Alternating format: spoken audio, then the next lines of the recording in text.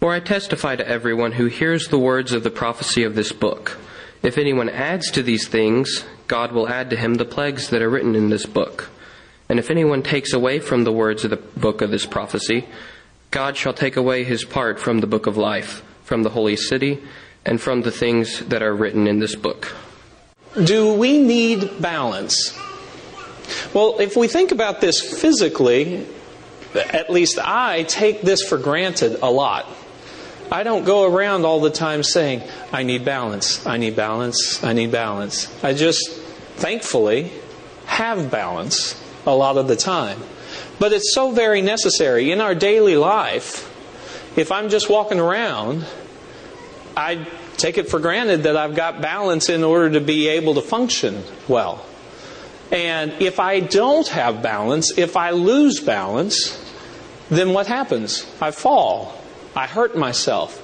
I have all sorts of problems that can develop. Whenever someone suffers from vertigo, that can be really debilitating. You just really can't do much of anything if you've lost balance in that sense. But not only that, sometimes we think about how our health is improved if we have a balanced diet. Now, this might not be the time to be thinking about that having just gotten off of the holidays, but we need to have a balanced diet, and maybe we need to balance our diet with exercise in order to take the best care of our body to stay healthy as opposed to having more problems with sickness and difficulty that way. We see balance as a valuable thing in so many areas of our physical life. Work versus leisure. All work and no play makes Johnny, that's the way I heard it anyway, makes Johnny a dull boy, or that's the way I claimed it to my parents, right? I don't want to be a dull boy. That would be out of balance of all work and no play. Of course, my dad might want to remind me that all play and no work makes Johnny a spoiled boy or something like that. That would be out of balance in the opposite direction, wouldn't it? And in the world in general, there's a common expression that appeals to a balance concept of, you know, everything in moderation. Whether or not that's true, uh, I don't know, but there's that sense that we have that something ought to be balanced. Nature itself, if we have all sun and no rainy days, we end up having problems. But if we have all rainy days and no sun, we end up having problems. And if we don't hunt at all, then there can be animal overpopulation sometimes. But if we hunt too much, we can drive an animal population toward extinction. And so, just everywhere that we have in our physical lives, there are all sorts of examples where balance is needed and beneficial. What about spiritually? Spiritually, do we need biblical balance? Let me suggest to you that just like in physical lives we need balance, we need balance spiritually in order to stay strong, to be productive, to be functional the way that God has said, so we won't fall spiritually in order for us to be pleasing and acceptable to God. But just because I suggest some idea doesn't mean it's true. What does mean it's true is whether or not it's what the Bible says. And I want to encourage you to look and see whether or not the Bible really teaches that we need biblical balance. But don't take my word for it and don't take anybody else's word for some idea that is brought up. What we need to do is make sure that we're searching the scriptures to see whether or not what is being proposed is true. In Acts 17 and verse 11, there's an example, a good example for us. The Bereans are com- uh, complimented because it says, These were more fair minded. It'd be good for us to be fair minded, wouldn't it? These were more fair minded than those in Thessalonica in that they received the word with all readiness. Well, are we ready to receive the word? We need to be. But it's not just receiving any old word that comes. How did they receive the word? They received the word with all readiness and searched the scriptures daily to find out whether these things were so. That's how we need to be receiving the word is to search the scriptures to see whether whatever anybody is teaching you is actually what the truth of God's word says. And that's what I invite you to do with me tonight. Because what the Bible says is what really matters. Now, I'm going to refer to a number of passages and I encourage you to follow along and maybe even jot them down so that you'd be able to have further study about these things to search and find out whether it's true. And if you have any concerns or questions, please feel free to ask me afterwards. Uh, let's have a conversation about this because that would be very helpful. But let's look at the idea of biblical balance and let's look at Matthew chapter 23 and verse 23. Matthew 23 23. Jesus is condemning the scribes and Pharisees for what they're doing in, uh, in a lot of aspects in chapter 23, but in this one in particular, notice what it says. Jesus says, Woe to you, scribes and Pharisees, hypocrites, for you pay tithe of mint and anise and cumin, and have neglected the weightier matters of the law, justice and mercy and faith. Does Jesus stop there? If Jesus had stopped there, it might have validated a popular notion that we see with many people in the religious world today. And sometimes people will say, well, God is love, and what really matters is love and there would be an emphasis on the weightier matters of love or justice and mercy and faith and those types of things to the dismissal of doing things that would be commanded by God. And if someone were to try to say, well, but God commands this and we need to do this particular command of God, they might end up dismissing it, saying, but, but really the big picture is God is about love and all those details don't really matter. And uh, one of the terms that can be used from time to time would be, um, well, you know, if you get too picky about that detail or this detail or whatnot like that, then uh, you may be legalistic or something along that line. But the question is, does Jesus stop here in the condemnation? Or what instruction does he give? If you look at the rest of the verse, Jesus goes on to say, These, the justice and mercy and faith, the weightier matters of the law, these you ought to have done without leaving the others undone. That's the biblical balance. That's the balance God calls us to. That's the true balance where we don't get out on one extreme or the other. On one extreme, like the scribes and Pharisees, we could be neglecting the weightier matters of justice and mercy and faith. That is definitely condemned. But if we throw the baby out with the bathwater, then what we end up doing is we neglect, I guess, what we could call the lesser matters. But we neglect the matters where God calls us to obedience to what His commands are. And so, what we've got to do is what Jesus said to do, which is find the biblical balance of doing the justice and mercy and faith, and also the details of obeying God as He has said for us to do. That balance is what is pleasing to God. Now, there are some passages that will end up correcting being in the extreme on one side by pointing to and emphasizing the other aspect in order to pull us back toward the balance. And so, whenever we look at 1 Corinthians 13, verses 1 through 3, 1 Corinthians 13 starts out by saying, Though I speak with the tongues of men and of angels, but have not love, I have become sounding brass or a clanging cymbal. And though I have the gift of prophecy and understand all mysteries and all knowledge, and though I have all faith so that I could move mount, uh, remove mountains, but have not love, I am nothing. and though I bestow all my gifts to feed the poor, and though I give my body to be burned, but have not love, it profits me nothing. And so we end up seeing if I do all these impressive things that God may end up saying would be good things for me to do, but if I do that, but I don't have the proper motivation, I'm out of balance. And God's not going to be pleased with that. I have to be motivated properly by love to be acceptable to God. But then, from another angle, we look at Matthew 7, verses 21 through 23, in order to see another aspect that we need to be careful about. Not everyone who says to me, Lord, Lord, shall enter the kingdom of heaven, but he who does the will of my Father in heaven.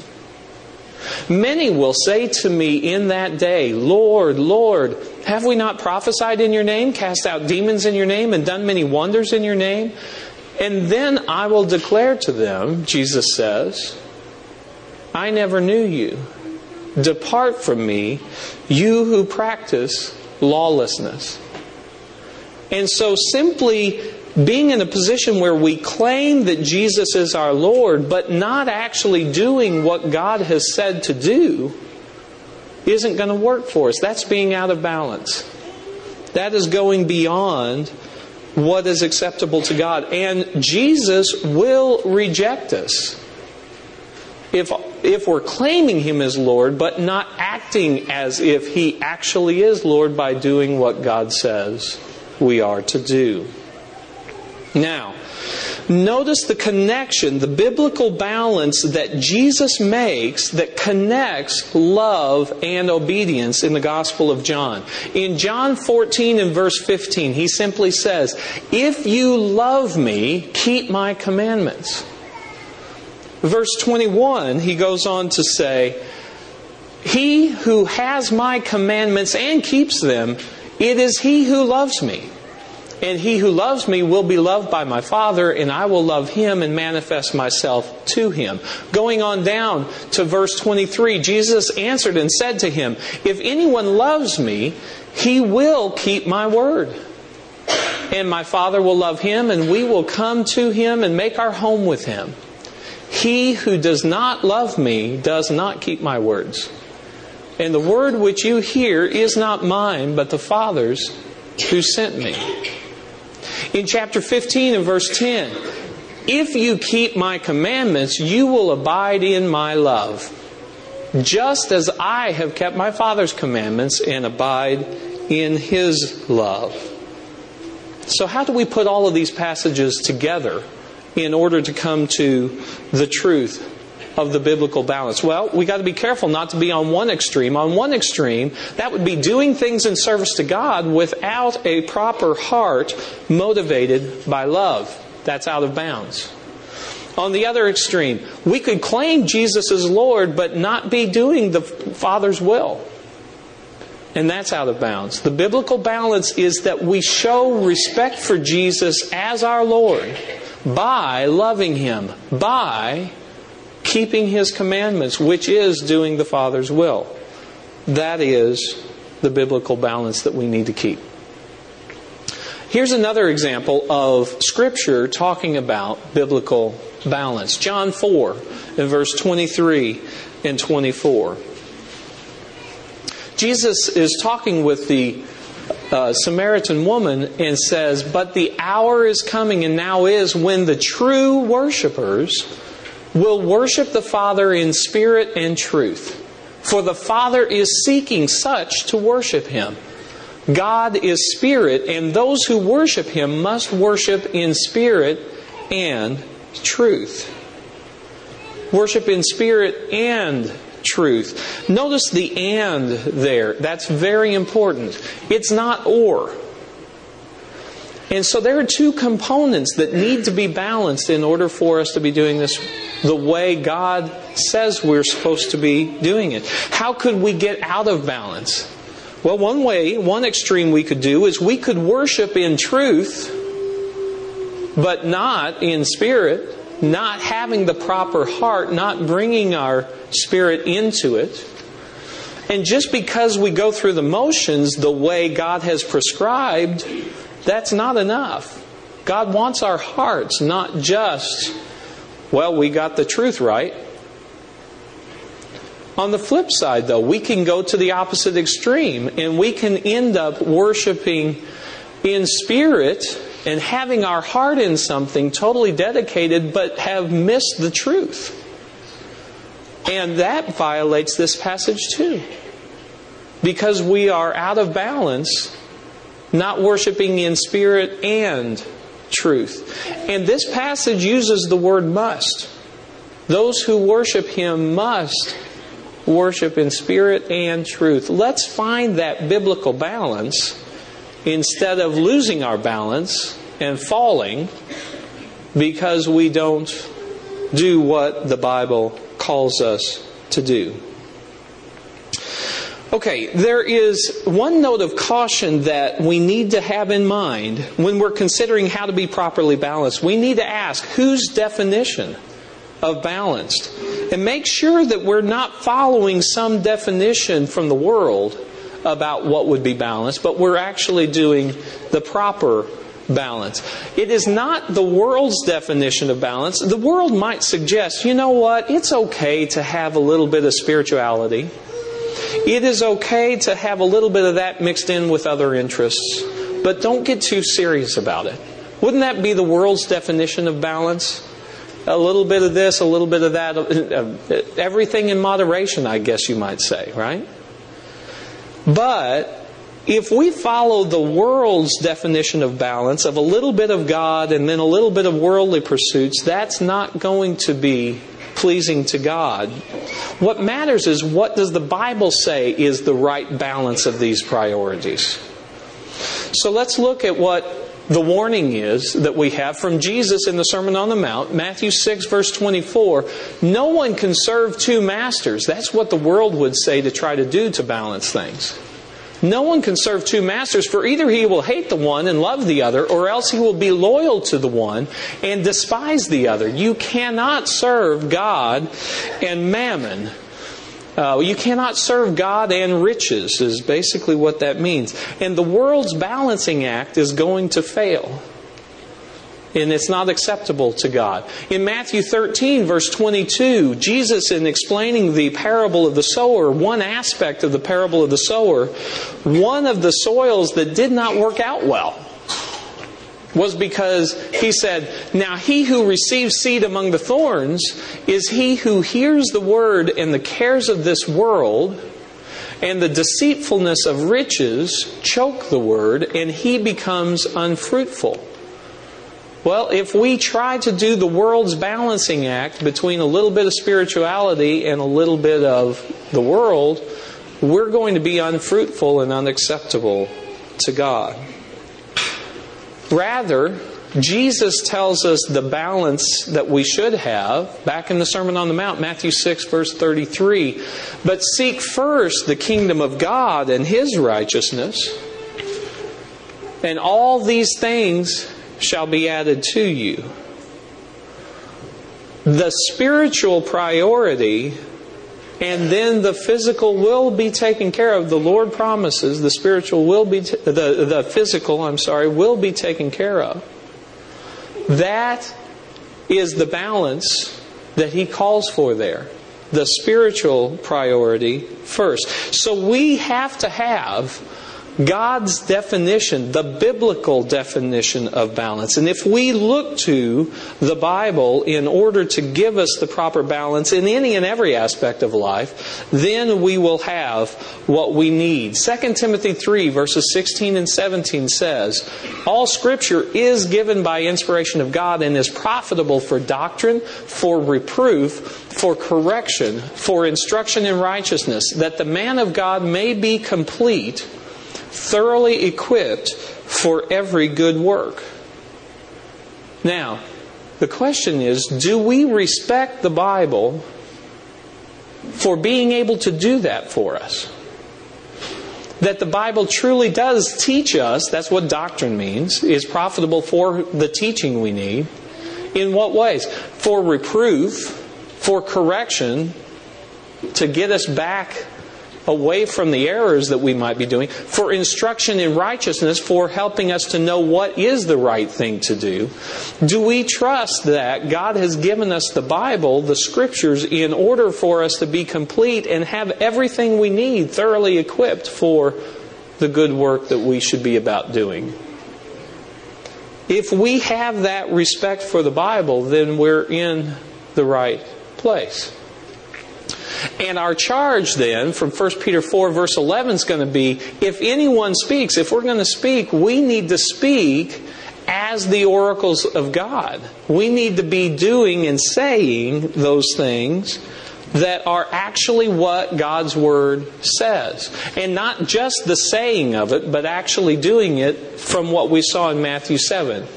Can't just say, Lord, Lord, but do the will of the Father, right? And so that's what we need to do. Okay, well, let's go to another question to apply this principle. Are religious traditions bad? I, I, can have my opinion about it. You can have your opinion about it. What really matters is what does the Bible say about traditions? Well, go to Matthew 15. And at a later point, you may want to look at Matthew 15, verses 1 all the way through verse 14 uh, for the larger context. But within that context, Jesus condemns something very strongly. In verse 3, Jesus says, Why do you also transgress the commandment of God because of your tradition? And in verse 6, he says, Thus you have made the commandment of God of no effect by your tradition. And so he concludes later on, verse 9, and in vain they worship me. We talked about true worship before. But this is talking about in vain they worship me. Why? Teaching as doctrines the commandments of men. Well, are religious traditions bad? It sure sounds like they're bad. But what does 2 Thessalonians 2 and verse 15 say? Paul says to the Thessalonians, Therefore, brethren, stand fast and hold the traditions which you were taught, whether by word or our epistle. Hmm. Well, maybe traditions aren't so bad. But then Colossians 2 and verse 8 says, Beware lest anyone cheat you through philosophy and empty deceit, according to the tradition of men according to the basic principles of the word of the world and not according to Christ. There's a little bit of a nuance going on here, right? Well, what is that? Are religious traditions bad? On one extreme, we could end up looking at some of this and would just not really pay that much attention to it and just go ahead and follow whatever traditions man might make up, right? But that would be getting off and away from the Word of God. Following the traditions of men is not right. So we end up looking at that and we say, well, what that means is we need to not follow any traditions at all. There aren't any traditions. Well, now, wait a minute. That's throwing the baby out with the bathwater. Because what Paul ended up saying was there are biblical traditions that we need to observe and recognize and do but reject the tradition of men. That's the biblical balance. Don't throw the baby out with the bathwater on these things. There is a wide range of applications of finding the biblical balance on a whole host of topics. And I'm not going to try to answer every single one of those tonight. Isn't that reassuring? But I want to encourage the beginning of a conversation. Because the Bible, what we need to understand is what does the Bible really say? The biblical balance of what the Bible really says about issues of salvation. You know, there's a lot of division and difference of opinion and views about grace and faith and works and how they all work together and all that kind of stuff. There is a biblical balance to that.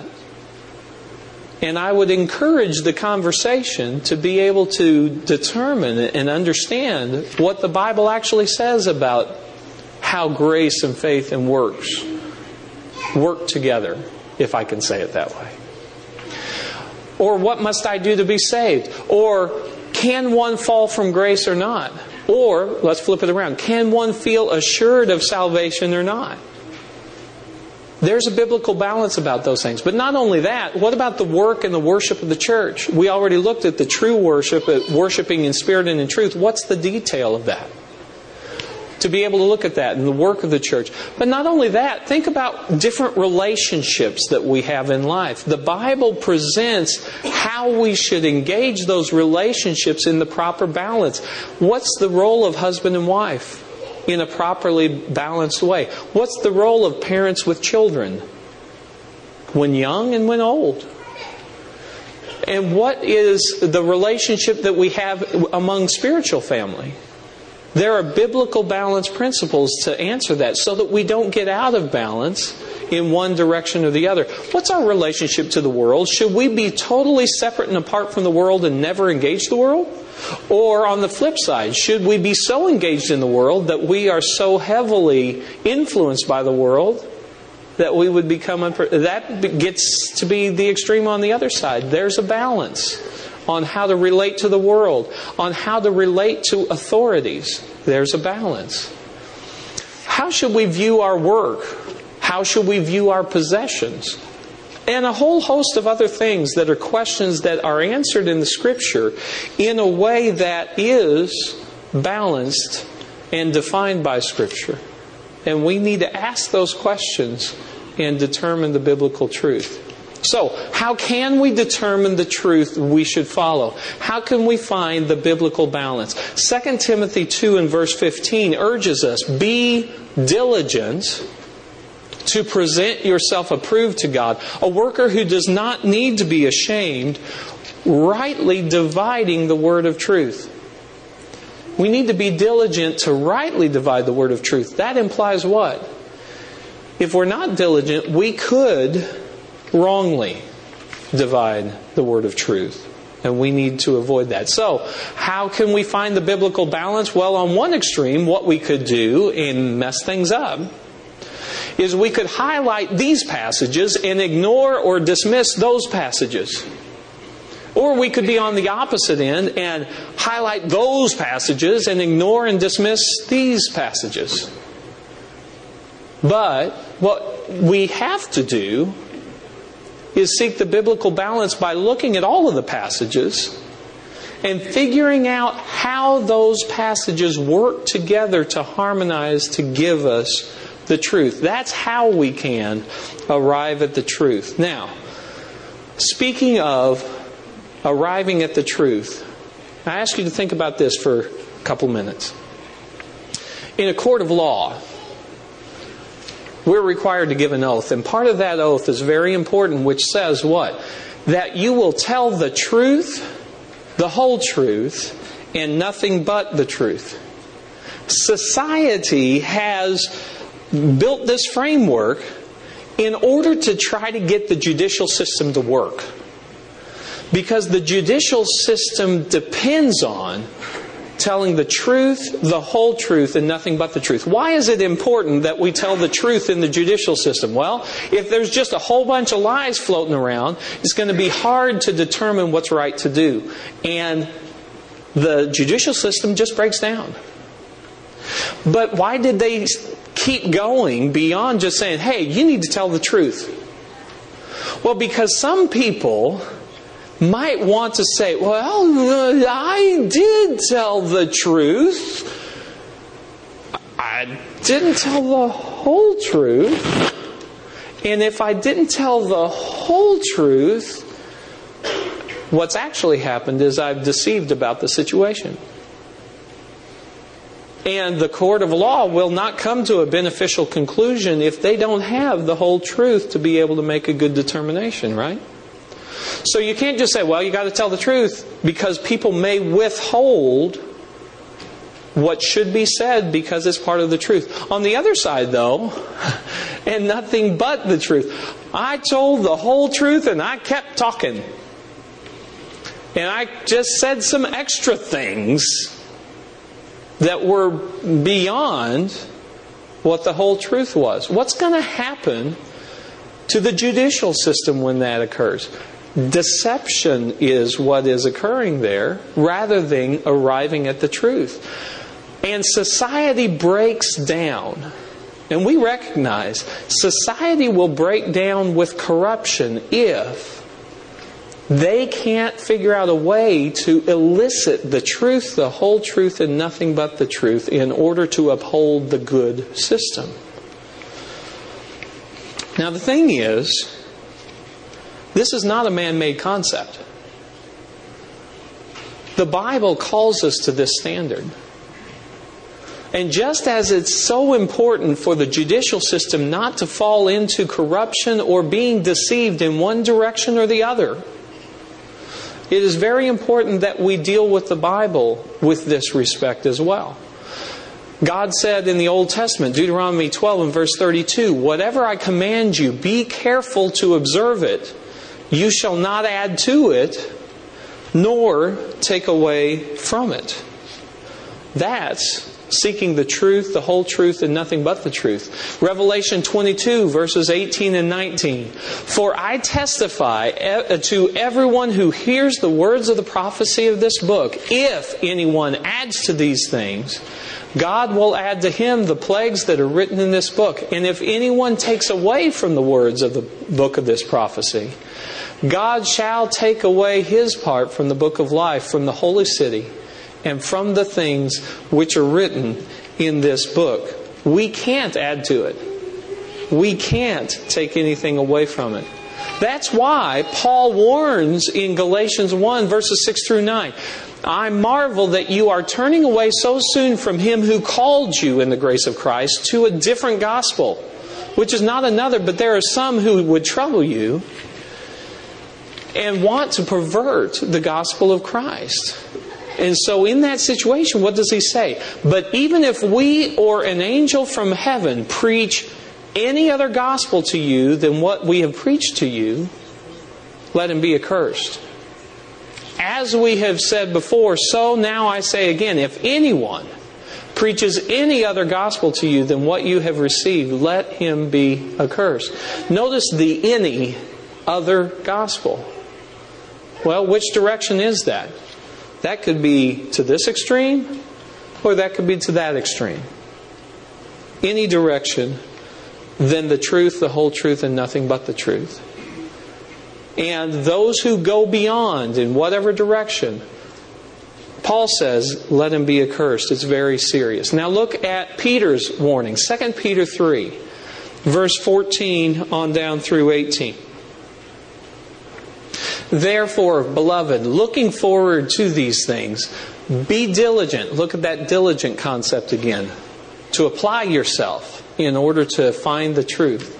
Be diligent to be found by him in peace without spot and blameless, and account that the long suffering of our Lord is salvation, as also our, bro- our beloved brother Paul, according to the wisdom given to him, has written to you, as also in all his epistles speaking in them of these things, in which are some things hard to understand, which those who are untaught and unstable twist to their own destruction, as they do also the rest of the Scriptures. I'm going to pause there for a second just to note you either have the truth, the whole truth, and nothing but the truth in the Scriptures, or the, twist, the, the scriptures have been twisted in some direction. And what does it say? If the scriptures are being twisted in some direction, that's to our destruction. That's a huge warning. So he goes on to say, You therefore, beloved, since you know these things beforehand, beware, lest you also fall from your own steadfastness, being led away with the error of the wicked but grow in the grace and knowledge of our Lord and Savior, Jesus Christ. So, we must be diligent to rightly divide the word of truth. We must beware of twisting the scriptures. So we need to ask ourselves, we need to honestly evaluate and step back and say, wait a minute, do I have itching ears or will I seek the biblical balance? What do I mean by the itching ears? 2 Timothy 4, verses 3 and 4 says that some will end up choosing this path. For the time will come when they will not endure sound doctrine but according to their own desires, because they have itching ears, they will heap up for themselves teachers, and they will turn their ears away from the truth and be turned aside to fables. Which direction? Either direction. Away from the truth, the whole truth, and nothing but the truth. But instead of being one who wants to hear what we want to hear, we need to be geared toward seeking what the Bible says is the truth, the biblical balance on the matter. That brings us back to Acts 17 and verse 11. The Bereans were more fair minded because they were open to receiving the word. How? By searching the scriptures daily to find out whether these things are so. That's the heart and the attitude that we need to have. To look for the truth and the whole truth and nothing but the truth. Now, whenever we search the scriptures and we're diligent about it and we find out whether it's so, we're going to respond by believing. Therefore, many of them believed. May that be a description of us in our attitude. We need to have the biblical balance. We need to seek the biblical balance. We need to do it. We need that truth, the whole truth, and nothing but the truth, so that we're pleasing to God and so that we can help others to find that truth and become pleasing to God as well. Now, as I mentioned before, there's a wide range of applications, and my point here is to open the conversation. And what I would ask you to do is ask some questions about these ideas. Do you have questions about grace, faith, and works? Do you have questions about what must I do to be saved? Do you have questions about whether or not we can fall from grace? Or the relationships that we should have? Or different things like that? What questions does this prompt? And let's start that conversation. Are you interested in opening the Bible together in order to search the Scriptures and find the truth, the whole truth, and nothing but the truth of the Word of God. Let's start talking about that today. In a moment, we're going to sing a song of invitation. And if you're not a Christian, but you already know the truth, the whole truth, and nothing but the truth of what the Bible says, you need to do in response to the gospel call, then we are ready to assist you to be converted to the Lord. But I want you to notice something about the song that we're going to be singing here in a moment. It's called Trust and Obey number 326 trust and obey. Trust and obey. There's that powerful and again. It both components. It's not one or the other. If you trust, you have the heart in it, but you don't obey, that's not it. If you obey but without trust, without the heart being in it, that's not it either. And so this song points to the biblical balance of both of those things being together properly. For there's no other way to be happy in Jesus